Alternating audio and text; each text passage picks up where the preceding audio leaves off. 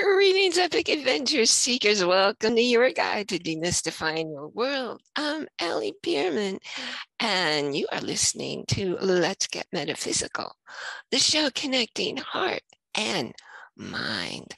Today, it's just me and you, and I'm going to talk to you about some stuff that happened in my world, very real stuff that happened in my world and some of it may seem a little bit out there. But the thing is, all these things that happened, other people witnessed them. So I'm not making it up, I'm not imagining it. It's all real. And when you start looking at your world, you just might start discovering some really cool stuff. Two, I'm going to go all the way back to when I was a teenager. I had this great love of everything French, French food, French literature. At that time, my entire library was 20th century French novels and theater plays. Now, here's what's interesting. When I was in high school, we studied the La Chanson de Roland in Middle French. And I had no trouble understanding it. Didn't even have to think twice. That's different from modern French. And the piece of that is later on as an adult, I saw a past life that I had had when I meditate, I would see past lives, which really explained things going on in my world. And in this case, it was a past life of me living in a castle in medieval France when guess what language was spoken? Middle French. So that explained why the language was clear, simple, and comfortable for me. Something similar that reflects another past life experience.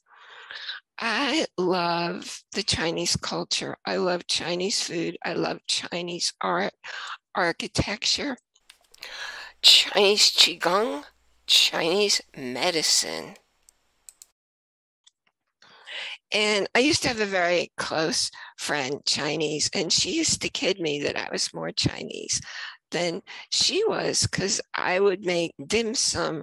I would spend three days making Peking duck, which, by the way, I know how to make the best crispy duck you ever tasted in your life. It's a lot easier and faster than making Peking duck. You tell me you're coming to visit me. And if my farmer, my rancher has a duck for you, you'll get to taste what I'm talking about.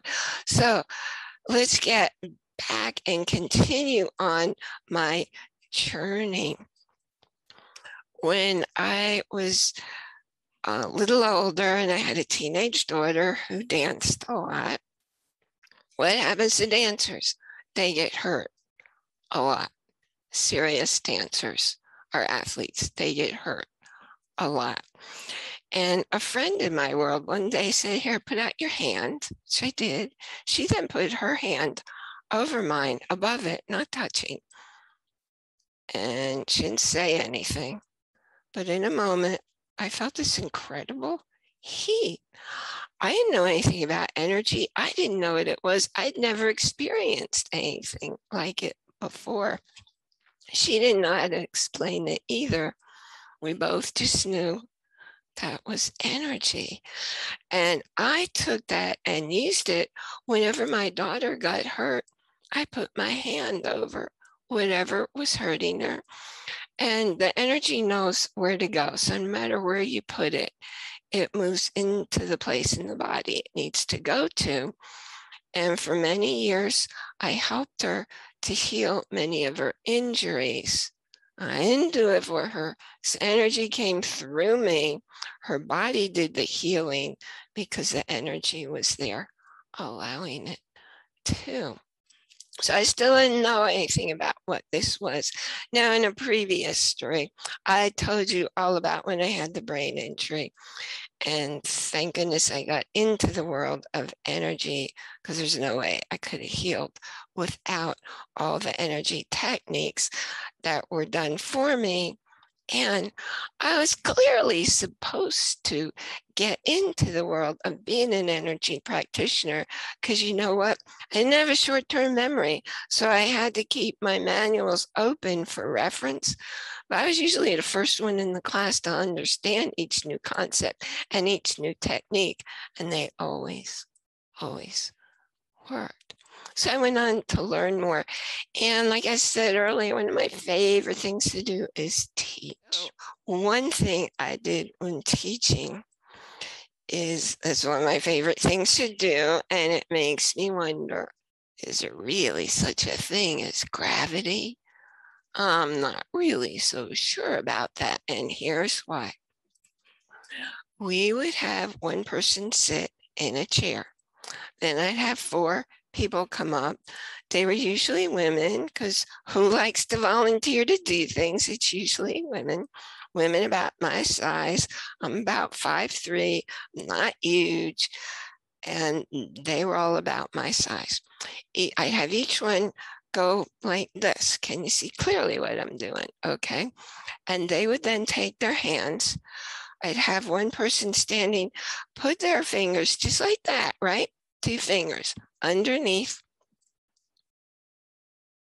the armpits and two fingers, same thing, the other two people putting those two fingers underneath the knees.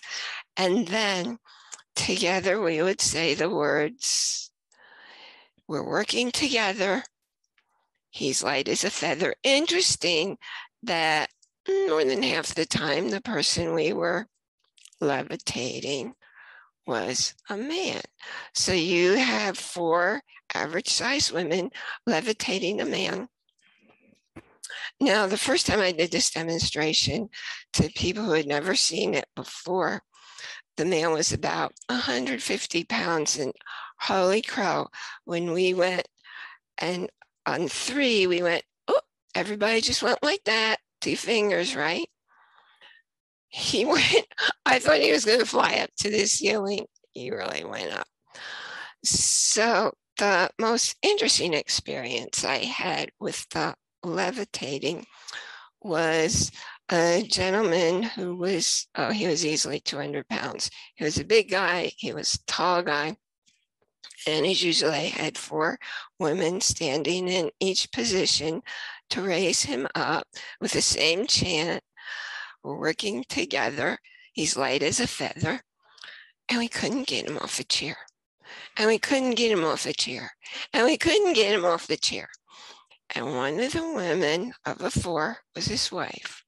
And she said, It's me. She didn't believe, because you can only create what you actually believe. She didn't believe we could possibly levitate her husband, four women going like this under each armpit, under each knee.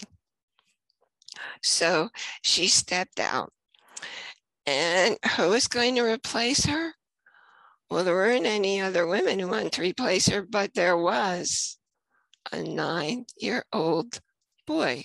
Now, he was actually smaller than the women already there. And as soon as he replaced the wife, guess what we did? Up went the 200 pound gentleman. So, energy is very real.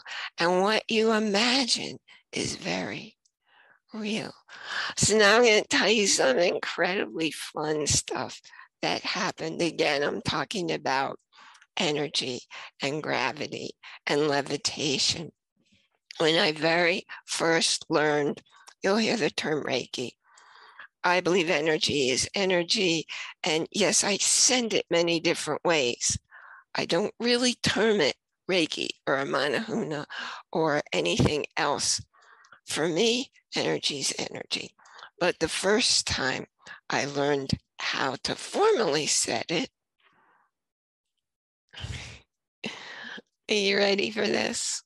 I close my eyes when I run energy, and a lot of that has to do with when I had that brain injury. I needed to shut my eyes because it's so distracting having all that information coming in through the eyes. So to focus on anything, I would close my eyes. I focus my eyes when I run energy. So I'm in the class, and there's a person lying on the massage table, and I have my hands over her. Yes, it was a her. I think they were all women in the class again. And my eyes are closed, and I'm running energy and I'm lowering my hands, okay? And I'm lowering my hands and I'm lowering my hands and I'm lowering my hands because I don't feel her body. And I keep lowering my hands and I still don't feel her body. And you know why? Because our bodies are mostly space. Everything in our environment that looks like solid is mostly space. So, my body, my hands being mostly space, we're going through her body mostly space, right through her body.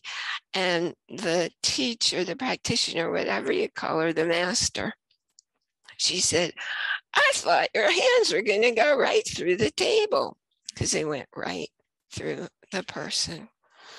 Now, after that, I learned how to actually go put my hands on somebody with my eyes open and just go inside and my hands would disappear inside the person. Am I seeing the insides of the person? No, I'm not. But I'm also not seeing my hands because they're inside the space in the person. Just wanted to throw that out for you to remember that. Okay, so here's another energy experience that you're going to go, mm-hmm. So it's the first time I was doing this in my home. I had no a massage table yet. So I was working on a bed and my subject was lying on the bed. So I'm just running energy. And all of a sudden I hear thump. Okay. And I'm running energy and I hear thump. And each of those thump was the person falling back onto the bed she kept rising up. Three times she rose up and thumped back down onto the bed. Now, if you think that's weird, again, I was visiting cousin and the male in the household didn't believe any of this stuff, right? So I would run energy on people because I thought it was a beautiful gift because it balances them and I'm running the energy on him. Just remembering it makes me laugh. And it wasn't just that he came up, the bed he was on jumped. Okay, so I'm there. The bed jumped. he looks at me. He says, "Did you do that?" Yeah, right. I'm running my hands over you like this. The bed jumped, and I did that. I picked up the bed and bounced it. I don't think so energy is everywhere. I'm energy, you're energy. Everything is made of energy. There's no such thing as empty space. It's all full of lots of different kinds of energy. Now, let me go on to another kind of experience with running energy. I was on my way to a cruise and I needed to get on the boat before it left, right? On the ship. It was a big cruise ship. So my uncle's driving me there, and there's terrible traffic. Like, we're not going anyplace at all. Traffic stands still. It's Florida, it's hot, and the car starts to overheat. And he's concerned that the car is going to whatever a car does, you've seen cars overheated and this steam comes out and it, you know, it's dangerous. You got to be careful. Well, I knew I needed to get to that ship. So I just started running. It's called Tibetan eights. They're figure eights. I can feel the energy even now. They're so powerful. I run Tibetan eights a lot. I started running Tibetan eights over the engine of the car. And in a matter of minutes, not hours, in a matter of minutes, the car cooled down and we were safe to proceed. And I got to the cruise ship easily comfortably and safely. Now, here's something else to realize about energy. You've heard of the secret and about how what you hold in your mind, you create in reality in space if you believe that you will. Well, when I moved back to New York from Idaho, I knew I wanted to live by the woods and near the water. And that's all I knew. And I also had a budget that I wanted to fit in for the place I was going to live. And my son kept saying, That's ridiculous. You're never going to find that kind of home with the woods and the water for what you want to pay. Well, there it was. I found it, moved in. It was right on the Appalachian Trail. Literally, if I stepped off the property, I was on the Appalachian Trail. Across the street, a big, beautiful lake. What you desire in your heart, what you see and feel, because it's the emotions going out that tell the universe what you desire. You don't just think it, you got to feel that it's real. It will happen. The car that I own, I had seen this car a year before I was ready to buy it. The exact model, all that little extras on it, the sports car with the what do you call a moonroof that that opens. Anyway, the colors, everything I wanted. But it was a year before I was ready to buy it. So come the next year, I'm ready to buy it. Guess what?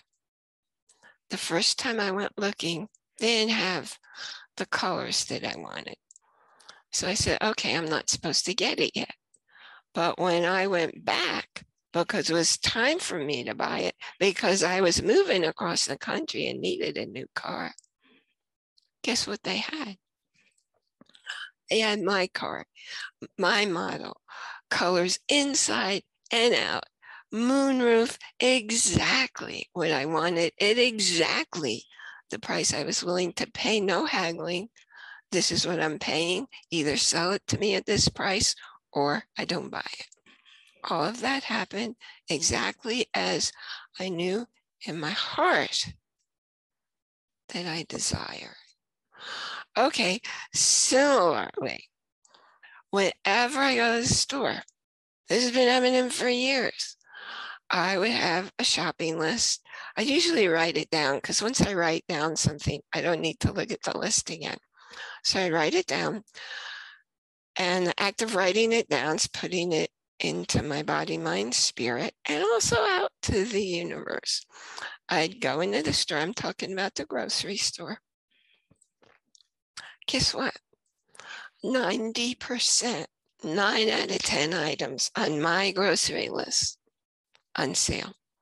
It happened every single time. Also, where I lived in Idaho, no matter what street I went down, there was an amazing library. I've never seen so many incredible libraries in one place. So when I knew I was going by a library, as I approached it, I'd ask my spirit, is there something in there for me today? And if I got a yes, I'd pull into the parking lot.